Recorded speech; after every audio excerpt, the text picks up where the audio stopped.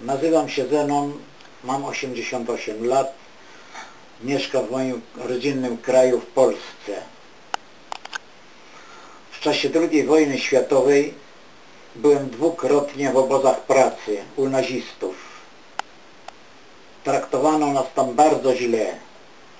Temu byłem w Szwecji na zaproszenie u syna na posiadłości mojego wnuka Filipa na Nibelesgorden.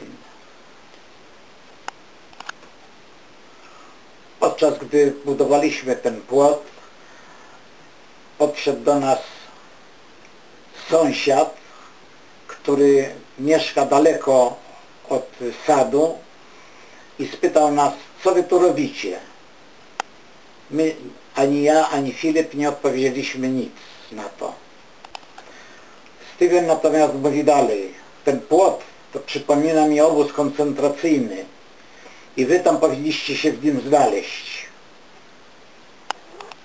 Ani Filip, ani ja na to nic nie odpowiedzieliśmy. Jego poniżenie i pamięć z lat wojennych wywarły na mnie takie wrażenie, że dostałem nad, nadciśnienia tętniczego i musiałem szybko wracać do kraju, żeby do swojego lekarza, żeby leczyć się na nadciśnienie. Za i opublikowane te informacje jestem odpowiedzialny ja osobiście. Chciałbym, aby wymiar sprawiedliwości Szwecji zajął się tą sprawą i odpowiednio wyciągnął wnioski.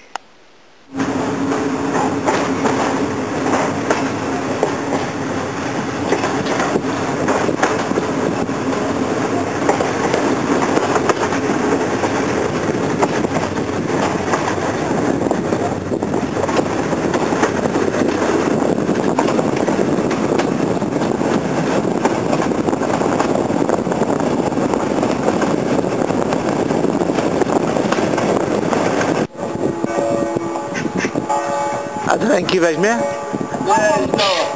Ne lá